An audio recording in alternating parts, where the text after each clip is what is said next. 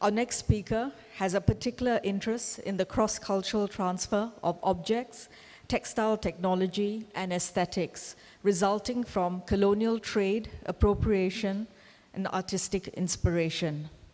She is an anthropologist and museum curator and has been associated with the James Cook University, Australia since 1992, initially as a lecturer at the Material Culture Unit in Townsville and currently as a senior research fellow at the College of Art, Society and Education at the Cairns campus. Here to speak on translation and translocation, Javanese batik in Europe and Africa.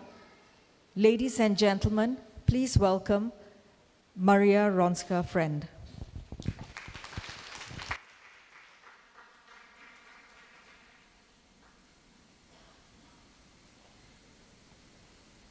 Thank you very much. Uh, I'm very grateful for being given the opportunity to share with you many years of my research into Javanese batik and how it became inspiration to textile arts in other parts of the world.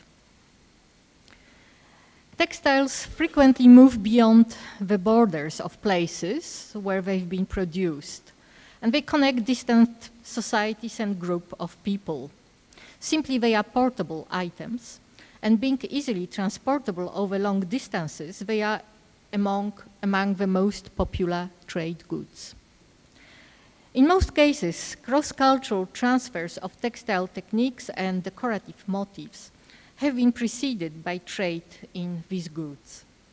Javanese batik, however, is an exception to this rule. It was rather the knowledge of a technique of Javanese batik and Javanese aesthetics, and not textiles themselves, that were transferred to other countries and became source of inspiration for artists, textile designers, and producers across the world. Today I will present two case studies. Uh, the transfer and adaptation of Javanese batik technique to European arts during the Art Nouveau and Art Deco Roughly, this is the period between 1890 and 1930. And the second topic will be a similar process that took place in Africa. Both were the outcome of colonial relationships, and both commenced rapidly at the same, approximately at the same time around 1890. Yet, uh, and each of those uh, transfers of Javanese batik to the other continent left a very significant and long-lasting uh, legacy that is present uh, even today. And yet, uh, those two transfers of uh, batik uh, aesthetics and technique to Africa and Europe, uh, they were completely independent of each other, simply there was no crossover, and therefore I will present them quite separately. However, both of them, they were the outcome of colonial relationship between the Netherlands and Indonesia.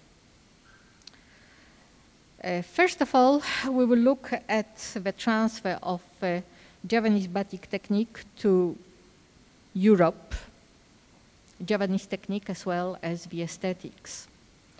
And actually there were two reasons why, towards the end of the 19th century, um, Europeans became interested in this group of Javanese uh, textiles and the method of their production.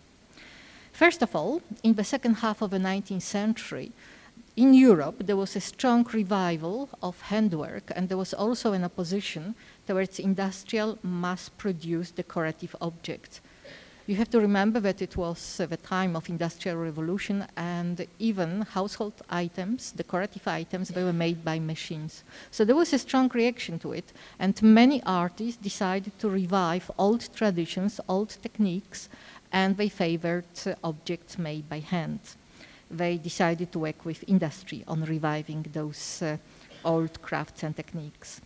At the same time, Europe experienced a new wave of fascination with the Far Eastern arts. And in particular, it was Japanese art in most of countries. But uh, for the Dutch, uh, it was the art of the colony, country which is today known as Indonesia, and especially it was the art of Java, not only batik, but many other um, aspects of Javanese arts that, uh, especially music and performing arts, that became inspiration for a number of Dutch artists. So, towards the end of the 19th century, as I mentioned, uh, the Dutch became interested in batik because uh, Javanese batik offered Western artists those qualities that they admired most. Uh, it was um, hand applied wax resist, which meant that each object produced was quite unique, and that was that objection to machine production of decorative objects.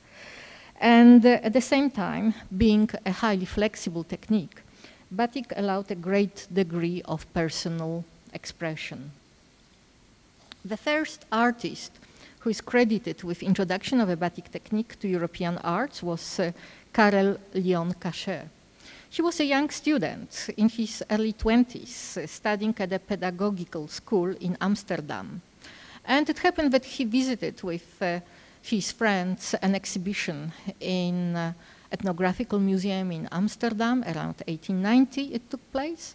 And he saw a group of uh, Javanese textiles, and he became interested not so much in the patterns, the designs of those fabrics, but rather he was intrigued by the technique uh, that they were made with. And later on his own, he started to make his own batiks.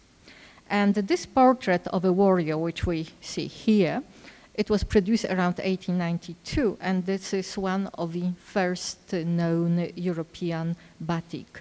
This cloth also illustrates some of the technical problems that European artists experienced at that time, because uh, at that time in Europe, commonly used were aniline dyes, and because of batik uh, process, they had to be used in low temperature. They were not durable, they didn't produce uh, satisfactory results, and they faded quite quickly. So therefore, there were many, initially at the first stage of a transfer of this Javanese batik technique to Europe, there were really many um, technical challenges that uh, the artists had to face.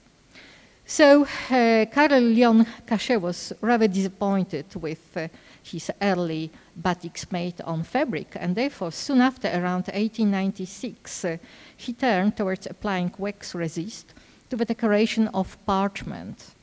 And parchment leather, it absorbs dyes more easily in low temperatures. And ever since, he was actually working with that uh, material with parchment. Those uh, Lion Cachet which uh, you see here, they are in the, uh, well, the warrior, portrait of warriors in a collection of a Rijksmuseum in Amsterdam, and those uh, containers, which are actually a little bit similar to bamboo tubes uh, like we know from Kalimantan. Um, they are in uh, they are in Stedelijk Museum in Amsterdam. So that was those were the first attempts with introducing the technique of batik to the Netherlands. This is another early example of, but much more ambitious on a large scale. It was batik room, which was created by Gerrit Dijsselhof in 1895.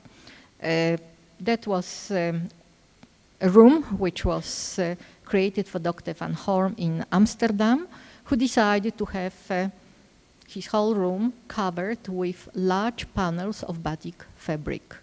And so those panels that you see, you see only three of them, but actually there is more than a dozen in a whole room. And this room you can today see in Gemeente Museum in Den Haag. So those, all of those panels, they were made with batik technique, and they also were additionally embroidered, especially there where he had problems and there were drops of wax which fall in, in places which he didn't uh, plan. That's where his wife would place embroidery at times to cover up that. But sometimes it was intentional embroidery. Uh, what is interesting, um, those fabrics have faded over the time, but you can see that their colors are blue and brown, like Central Java. Those batik Kain Sogan I was mentioning a little bit earlier when we were looking at Tagore collection.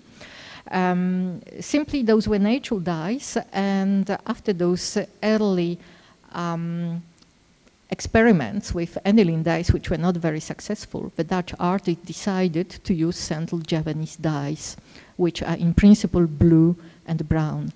And and they were very uh, faithful to, to those dyes and those colors. You can see here two further examples. One is batik uh, very much in Art Deco style by De Wilde, which is in a collection of Tropen Museum, and the other this is just one panel of a large screen which was created by a Dutch artist Ries and it's in Boston Fine Arts Museum. So what you see here, definitely we have no Javanese ornaments, uh, no Javanese motifs, but we have Javanese colors. And that was typical for those early uh, batiks which were made in the Netherlands. And in the last decade of the 19th century, the technique of batik was limited in principle to the Netherlands. And in 1900, Dutch artists presented those batiks at the World Exhibition in Paris. And it was a sensation. They became extremely popular. They had very good press, good reviews. They've been seen by a number of people. And what we see after 1900, the technique of batik conquers, conquers all of Europe. Batiks are made in a number of countries, from uh, virtually Spain to Scandinavia. Almost in every country I recorded that there were artists who were interested with batik at that time. But the most popular batik was in France, Germany, and Poland. There were also attempts to um, improve Javanese tools used to apply wax. Uh, you can see, for example, on this um, first image, there is a lady and she's using glass tjanting, which was invented in Germany. Um, on the other photo, we have uh, batik workshop in uh, Paris, uh, which was very active after the First World War and which was actually organized in a similar way to Javanese uh, batik workshops. Those European tools, improvements, especially on tjanting, soon after it was found that they were not so great and most artists returned to Javanese tools. Um, from those images you've seen previously, you've noticed that batik was used, the technique of batik was used mainly to produce large panels of fabrics which were used in interior decoration. However, around 1908, 1909, batik also enters um, fashion and it's becoming increasingly popular to produce garments for European ladies. And um, especially uh, Paul Poiret, who was a very famous fashion designer at the time, he produced a version of evening coats which were decorated with batik technique. Once again, they were in blue, brown, or yellow colors. This one you can see that it has got uh, this type of a triangle like we have on many sarongs, uh, also here in Malaysia, he introduced to that evening coat. Uh, unfortunately, um, to my knowledge, none of those uh, garments survived uh, in uh, museums or private collections. We know them, however, from a number of photographs and drawings and illustrations. Uh, um, there are many archival records, so we know he produced that.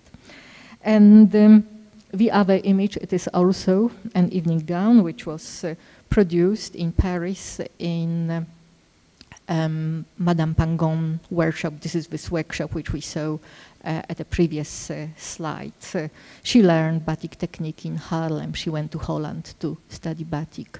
Uh, so in principle, um, the Netherlands, especially Haarlem, it was a very important place for the dissemination of the knowledge of uh, batik technique in Europe and therefore many batiks uh, they initially in other countries they were made in the style of those Dutch batiks and although only later they create, started to create kind of autonomous style.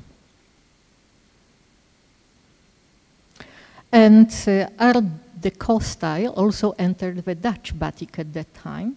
This is part of a huge scarf which was uh, batik by Ranghil Day in uh, 1928. It is in Stedelijk Museum nowadays. And it is very interesting that uh, actually this technique of batik was embraced by two decorative styles, very different styles, which dominated Western arts uh, at the end of the 19th century and beginning, first half of the 20th century. It was Art Nouveau and Art Deco, because after all, they were very different in their approach to design. Um, for example, Art Nouveau, which uh, dominated decorative arts uh, in Europe between 1890 until the First World War, it favored rather soft, winding lines and very gentle, subtle uh, color combinations. And uh, Art Deco, which became uh, very popular after the First World War. It was the style of 1920s, 1930s. Uh, it favored rather geometrical forms, a very sharp, straight line, and bright contrasting colors. But what those two styles had in common, they favored ornament, and it was two-dimensional ornament. And therefore, batik uh, technique was very suitable for both of them, and therefore batik uh, was present in applied arts for almost 50 years uh, in Europe.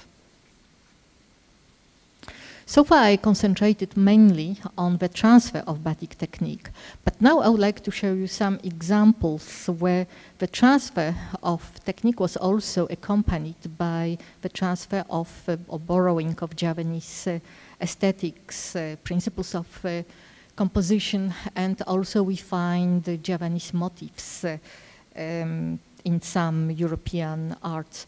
Uh, this process was uh, so intensive in the 1920s that uh, some art historians uh, uh, term it as Javanism, in a way similar to Japanism, the presence of uh, Japanese aesthetics in European art. So we have Javanism, this is the Java which is present in European art. Probably the most interesting artist um, um, who embraced very deeply Javanese aesthetics was Chris Lebeau from Haarlem. Uh, the first uh, batik which you see here, it is Javanese batik from Central Java, from Yogyakarta. It is made in this uh, Kain Sogan style, blue and brown. And as I already mentioned, many of the Dutch artists use this color combination, Central Javanese one. However, Chris Lebeau went much further. Some of um, Javanese batiks, they are made with in so-called nitik style, with nitik method, which means that they don't have continuous lines. All the outlines of the motifs, they are built of thousands of tiny dots. And that was the method which also um, Chris Lebeau used in his work. It's a very difficult uh, technique, almost like a meditation on cloth, very slow one. Uh, after all, it is much easier to draw a straight line rather than making the same line by marking with uh, tiny dots. Um, but uh, uh, Lebeau became master of uh, nitik technique. He also knew extremely well um, the Kain Sogan uh, process, and those samples which uh, you see on the second image, uh, they were made by Chris Lebeau. They are in a museum in Basel currently, and this is step by step. Uh, he shows here, those are instruction samples for his students, where he shows how to make this blue and brown Kain Sogan batik in Europe. And here, this is a section of a large panel which uh, Chris Lebeau made using this uh, Javanese uh, nitik method, those tiny dots, uh, thousands of them. Um, this is in museum in uh, Assen, in Drenthe. And um, it is really um, extremely precise work uh, and highly controlled and very detailed. So if you look at Javanese batiks, those are exactly the same feature that you find in Javanese aesthetics. There are no um, cracking of wax, there are no accidental effects. Everything is very measured, very controlled. So Lebeau, he did not use Javanese uh, motifs, he didn't transfer them, he didn't copy them, but he used the same underlying principle of uh, making batik fabric, but he translated that to the environment of uh, the aesthetics uh, of uh, his time. However, as regards the technical aspect of it, this is extremely very a high quality of work. And when I show photographs of uh, those batiks in, uh, in workshops uh, in Java, um, people could not believe that somebody outside Java was able to make batik of such high technical accomplishments. Um, he really was a master of this um, technique. And he produced uh, well, I know around 20, 30 examples of such batiks from museum collections. Perhaps there were more, but didn't survive. So he worked in this style and uh, in this technique for um, at least uh, 15 years, and the results are really astonishing. So that was, uh, he also had many students, many followers. So this kind of style like we see here became very popular in the Netherlands, especially before the First World War.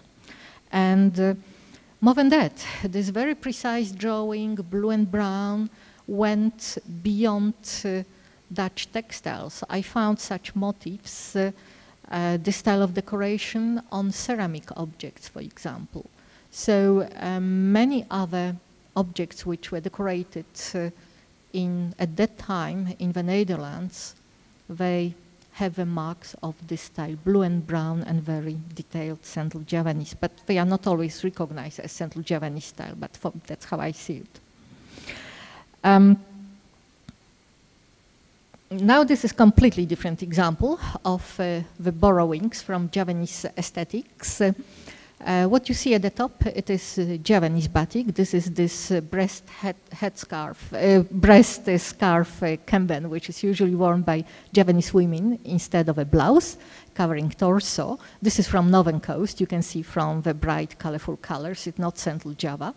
But those uh, fabrics below, the central one and the lower one, they were made in Poland in the 1920s by association of artists, which was known as Krakow workshops. And actually the authors of those fabrics are teenager girls because this group put a lot of stress on developing artistic skills of children and they introduce uh, uh, a group of uh, teenagers into batik. So, um, so those batiks, they are very colorful, they are floral in design because those were the aesthetics of Polish folk art. That was something that was uh, very easy for people to accept. So what they adopted from Java were usually those floral patterns and very colorful ones. But you can still see that there are elements of uh, uh, coming from uh, Javanese uh, batiks, like of course here we have still see, see this diamond field and this composition was uh, repeated on a number of Polish batiks. And this uh, shawl here, it is like, once again, sarong, uh, transformed sarong decoration with those triangles, tumpals, and this would be the button with flowers. So once again, many, many of those uh, batiks have been produced in Krakow at that time. And what is very special and interesting is the fact that all of them, they've been made with natural dyes. And if you look that usually on an average fabric we have five to six colors, it was a very complex process. So it was not so much blue and brown, although they also used it. It was more rather multicolored and using natural dyes because that was their uh, philosophical principle that uh, this group of artists rejected uh, synthetic dyes. They said that uh, it is uh, very important to revive uh, the old tradition of dyeing. It was um, 1920s in Poland.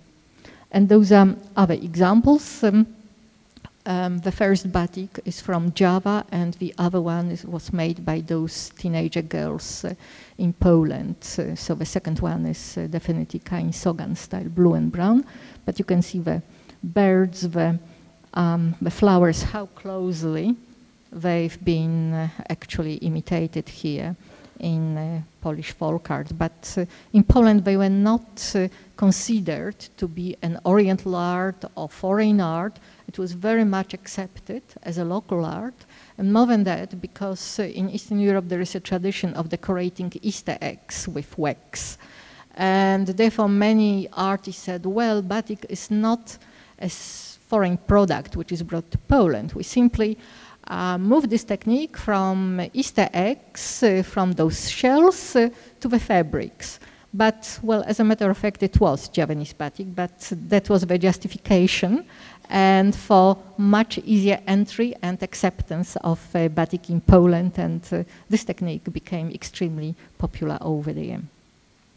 So, so far I presented um, uh, that examples of a transfer of Javanese aesthetics, which were usually associated with the application of wax drawing.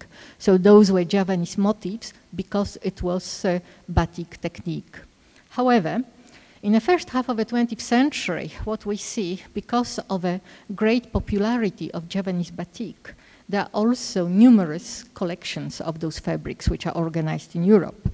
That's the time when many museums start collecting Javanese batik, but this is also the time when we have private collectors who buy batik textiles, and among them are many significant artists. And those private collections of uh, batik uh, had an impact on the art. So I would like to present from a whole group of those artists just three uh, quite significant persons. The first of them is um, Henry van de Velde, who was a Belgian artist, but uh, active uh, between 1900 and the First World War in Germany. He was a very prolific uh, artist. He worked in a number of fields, including interior decoration. He was well aware of batik. He knew this technique very well. A number of his students used batik, but he himself, he never made batik. But he was uh, very much uh, attracted by two uh, Javanese batik designs, and in his interior projects, he used printed, factory printed clothes with Javanese designs to decorate the interior. So we see here a um, interior of a club, tennis club in Germany, um, where he used uh, that cloth to cover the couch, but he also used uh, um, in that interior uh, the same design, uh, batik design for curtains, uh, um, wall panels. he used, um, I don't know, 30, 40 meters of that cloth, at least in that interior. It was a very powerful experience if you look at photographs of the whole interior because it's this diagonal design of those Javanese sultans is really extremely dynamic and overtaking the whole space. And the second photo I showed you just for comparison is how the same pattern was used to be used in the right context, worn as garments of aristocracy. This is the crown prince at uh, Surakarta and his wife uh, at home, and they wear this uh, um, diagonal um, design that uh, Henry van de Velde, well, he fell in love with this design and he used that in a number of his projects. And uh, more than that, he also uh, designed patterns for printed textiles or woven textiles um, to be produced in Krefeld in Germany at the beginning of the 20th century, and they are very much based uh, also on this batik Parang Rusak design. But uh, as I said, he never made batik, he never worked himself with batik technique, but the aesthetics of Java are very strong in a number of his works.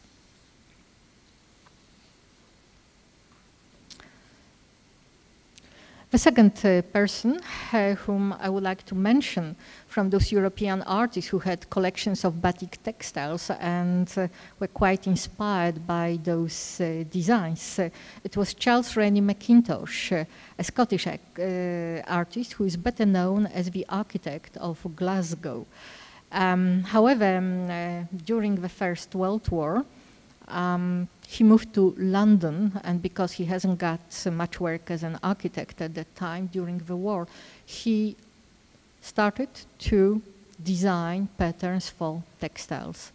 And uh, we know from some sources that he had a group of uh, um, Javanese batik fabrics in his uh, collection, and a number of those fabrics, which he designed at that time, they have a very close affinity with a composition and some uh, designs of Javanese batik. This is, uh, for example, here, uh, Parang Rusak, known in its version as uh, Parang Churigo, and we actually have here in this room a gentleman who is in row two who, who has that kind, shared with that kind of uh, design. And this is very much this pattern which inspired uh, um, Charles Rennie Mackintosh. He also included uh, as a background pattern of one of his watercolors that uh, design. Um, however, those uh, Javanese uh, designs only occasionally appear in Mackintosh textile designs in a version that is close to its uh, Javanese prototype. Uh, in most cases, the artist translated the diagonal bands of uh, this pattern into rows of tulips, daisies, uh, stylus leaves, uh, peacock eyes, and even human figures. This is the odalisque uh, motif in here. So it was rather the principle, it was the general principle of a composition rather than the actual motif being copied in his case. And uh, finally, the third artist whom I would like to present, who was inspired by batik to some extent, was uh, Henri Matisse, whom I don't have to present here.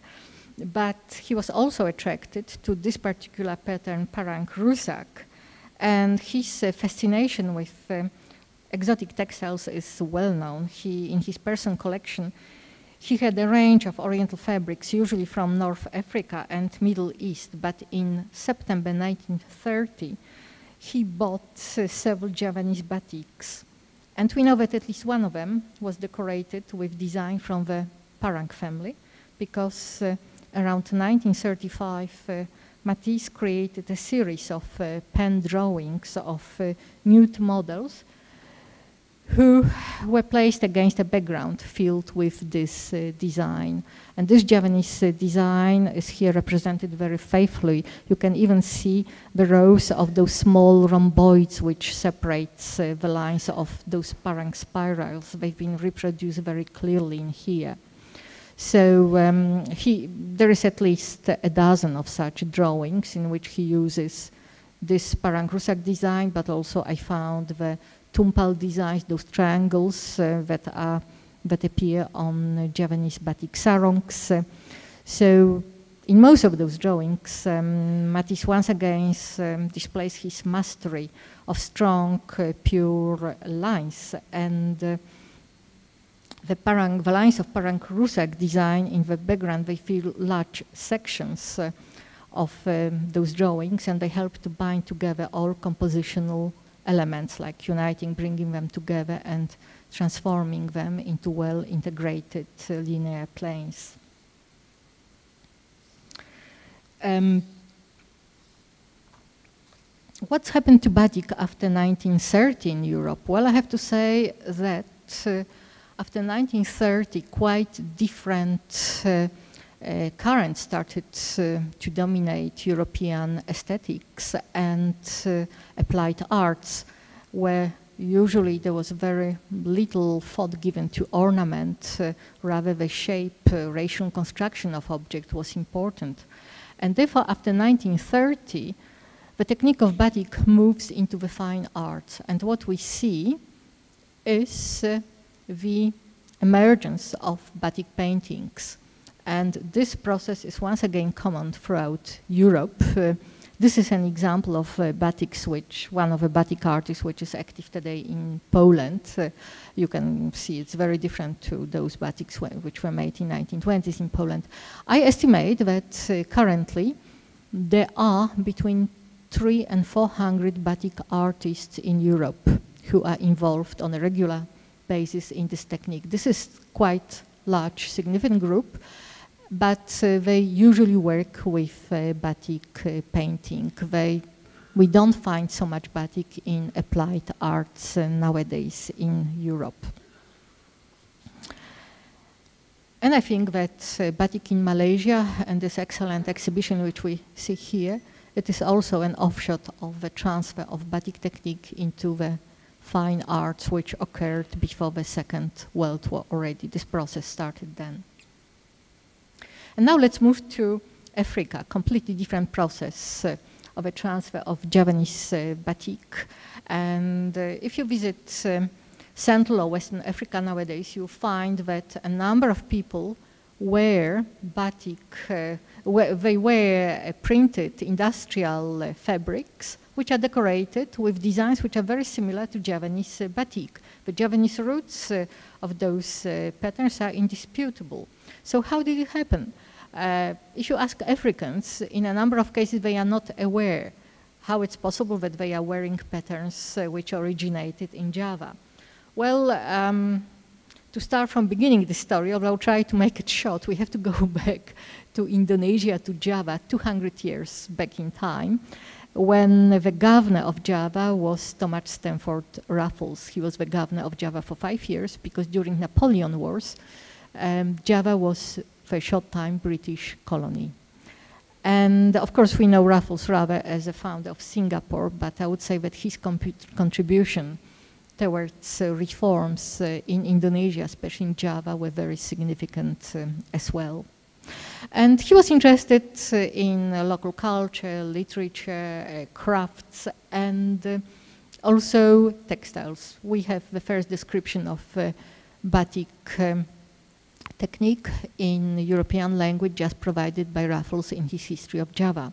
At the same time, he was aware that batik was made by hand. Uh, it was a time-consuming process uh, to decorate one piece of cloth, and he came up with an idea that it would be a fantastic business for British manufacturers to produce uh, imitations of uh, batik patterns in the UK and export them to Indonesia. And with that in mind, in 1912, he sent uh, samples of Javanese batiks to London and a large number of fabrics. They were printed, hand printed those days, and sent back to Java. Two years later, he's got those fabrics, and this is the advert in a government uh, newspaper which states that those are fabrics made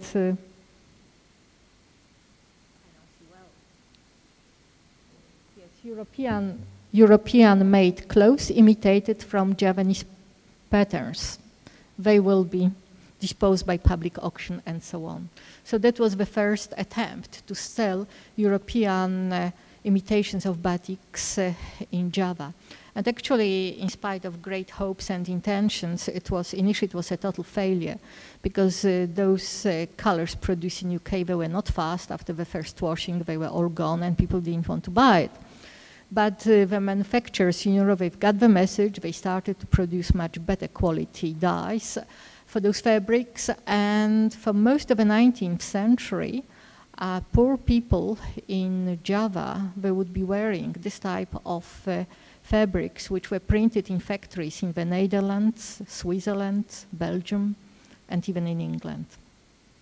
And uh, this lasted for quite a few decades, and it was a great business for textile manufacturers in Europe until around 1860. Batik fabrics on Java started to be printed with chap. This is this metal stamp, like it's also used in Malaysian batik. And in a short time, Java became self-sufficient in batik production, started to export in large numbers the fabrics to other parts of Southeast Asia, and there was no need for those European imports. So European manufacturers started to lose market in Indonesia. And they decided to look for new markets, new customers, rather than changing this very complicated technology of producing those textiles. And around 1890, they sent first examples of those fabrics, Javanese batiks, to West Africa. And uh, they found a very successful market there. There was a very good response to them.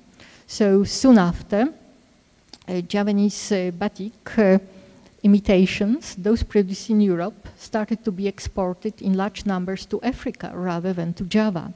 And what we see here, this is an early example of uh, this European uh, imitation, which was hand printed. You can see it was a very rough cloth. Uh, uh, there was, um, well, certainly uh, a person uh, of mm, higher social standing in Java would never wear such a cloth. It was really for those who could not afford handmade batik.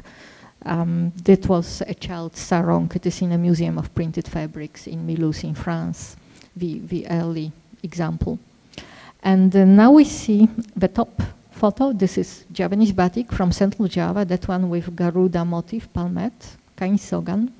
And the lower one, this is um, a fabric printed in UK for Africa around 1910 from the collection of a British museum. So very slowly, steadily, we can see the transformation of those uh, motifs from original Javanese batik. Slowly, they are becoming adjusted to uh, the aesthetics of Africa and expectations of the local markets.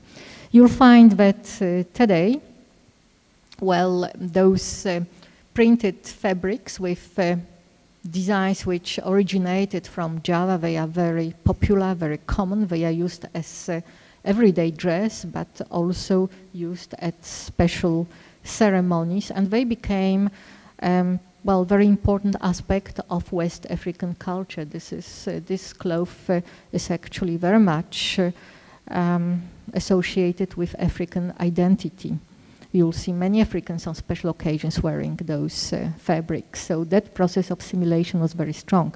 However, the Javanese roots are very strong, and as you see here, uh, and they are very clear, um, well, the first photo is from uh, a wedding ceremony at uh, Mangkunegaran Palace in Solo, and you see that a very similar cloth is worn in uh, Ghana. Uh, at the same time, this is all beginning of a 21st uh, century. Those photos were taken more or less at the same time. So this is uh, the transfer of those Javanese aesthetics to Africa. And now I would like to show you just uh, some examples um, how the Javanese uh, uh, patterns and colors have been changed to suit better the taste of uh, African customers and local aesthetics. So the first fabric, there, there will be several examples. The first fabric is always uh, Javanese batik, and the second one is African. So this one, this is the composition, very popular in uh, Central Java, known as pagisore, and uh, this is also very much accepted in this diagonal composition also in Ghana, where you have darker and lighter side of a cloth, but uh, you see that the colors in Africa became much brighter usually they would be too bright for a Javanese person to wear it in Indonesia. And this is the transformation of the Garuda motif known as Sawat in Central Java, which, uh, well, in Java, of course, it has to comply with uh, certain strict regulations how you present uh, this motif. But in Africa, virtually you have a lot of freedom. So here it's been uh, transformed into kind of a flowering bush uh, tree Sometimes it turns up to be a pineapple, sometimes a snail. Uh, there are many, many possibilities of changing those uh, motifs. Here we have uh, Parang Rusak, and look uh, what's happened to Parang Rusak. This is uh, uh, translated into a row of fans, and this is a fabric which is very popular in Nigeria. And uh, to say more, we, we can't see well on those photos, but those fans, they are covered with gold with a layer of gold. So this is really expensive fabric. This is a little bit like those Javanese kain prada clothes that were used for weddings that also had a layer of gold. So we have similar here translation. And actually this Africans love to include into their printed fabrics everyday objects. So uh, you find, of course, also uh, computers and mobile phones, but uh, yes, uh, whatever. um, this is sometimes maybe a dream that they would like to have it. maybe this is some sense of humor. Maybe this is a matter of prestige. I don't know exactly, but uh, this is very popular. And uh, this fabric is uh, uh based on uh, Javanese uh, batik, which was produced for Sumatra. It has Arabic inscriptions from Quran. And in Africa, those inscriptions, they are just marked you can guess that those are those uh, uh, Arabic inscriptions. And the, the design has got quite a new meaning and name, and it is usually presented by wives uh, when they are pleased with their husband. So that's why the name of this uh, pattern is Good Husband. It's from the British Museum collection. British Museum collects uh, a number of those contemporary African prints and their meanings and significance. You can find it on the website.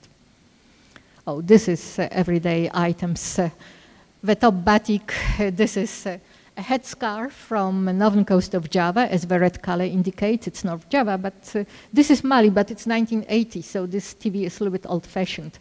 I'm sure that nowadays we would have up-to-date model presented there. But uh, you can see that, however, the translation of those, the transfer of those aesthetics and translation to the local uh, social uh, milieu and expectations is uh, very clearly marked. The Javanese roots, we can still see very clearly the principles of exhibition. This kind of a horror vacui, where the whole space has to be filled in with small patterns. In Africa, it is still present. But Africans also like strong uh, cracking of wax, and that we'll find on a number of their fabrics. What else is very important for Africans? Uh, uh, those are printed fabrics, uh, factory printed, but also the printed names, uh, which is kind of a guarantee that those fabrics originate from certain places. However, during the last 20 years, we have many forgeries because those fabrics, some of them are very expensive, and especially during the last 15 years, a number of forgeries, uh, those imitations uh, coming from China. Um, some of them, they are made uh, officially legally in China, but some of them, they are smuggled to Africa. If there is a pattern that sell well in African market, then very quickly it's produced uh, in Shanghai or Hong Kong, and uh, within a couple of weeks it's uh, available in, in Africa. And as a result, a number of uh, local African factories uh, had to close down because they can't compete with this Chinese manufacturing. Um, very often uh, those uh, printed fabrics uh, inspired by uh, batik, Javanese batik, uh, well, they have their own new life, of course, in, in um, Africa, there is no transfer of meaning or symbolism from Java, if only because there was never a direct connection. It is all facilitated via European producers in the first place.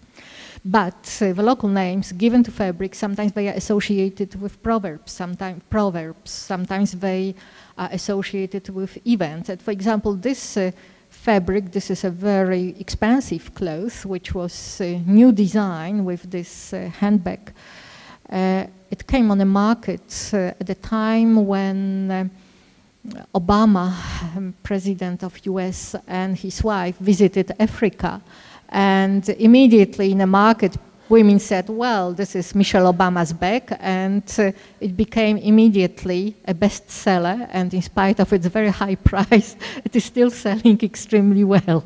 so um, there would be many stories to, to tell like that, but uh, you have to understand that those fabrics, uh, although you can still see the strong deep roots of Java in their aesthetics. They have their own new life and they are very deeply embedded in the local culture and local traditions. Uh, we also have uh, a number of um, uh, fashion um, garments uh, which use those uh, prints. Uh, nowadays, those printed fabrics are promoted as a luxury textiles in, in Africa. So this is one of the examples from Ivory Coast. But uh, this is using tambal motif. This is like a patchwork motif, one of classical motifs of Java. And the other, the first photo, this is uh, a close-up of this child sarong, the oldest batik imitation which I showed uh, previously. So you can see that the continuity for almost 200 years of uh, those same patterns which were printed by um, European uh, um, industrialists uh, is, is, still current. Well, those fabrics became so important that they also entered the arts and um, they also gained quite new, unexpected uh, meanings in uh, modern conceptual art. Yinka Shonibare is just one of several artists, African artists, uh, who use those uh, fabrics in, in their works.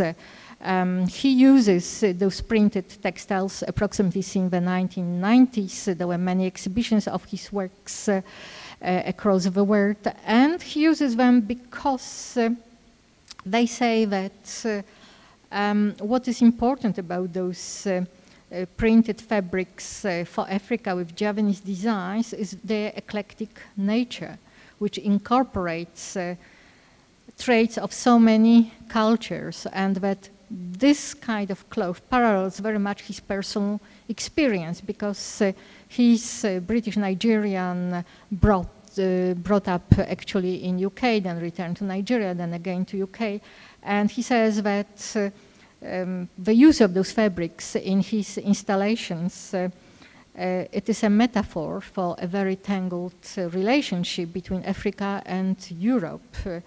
and it also is a challenge to uh, common assumptions and stereotypes, especially as regards the notions of cultural authenticity and uh, appropriation. Appropriation is a very important uh, issue, of course, uh, in case of uh, those uh, textiles printed with uh, patterns which originated from Java. This is another installation by Shonibare. This is Scramble for Africa. Um, his, um, well, um, typical mark, those are the headless mannequins. This is the distinctive feature of many of his installations, headless mannequins, which are dressed uh, sometimes in Victorian costumes, um, but always made from those uh, um, African wax prints, uh, and usually they are arranged in a kind of theatrical tableau. And here those are Europeans who are dividing the continent of Africa, scramble for Africa. Well, um, when discussing relations between Africa and Indonesia, there is one more person I have uh, to mention, and uh, this is um, actually Nelson uh, Mandela.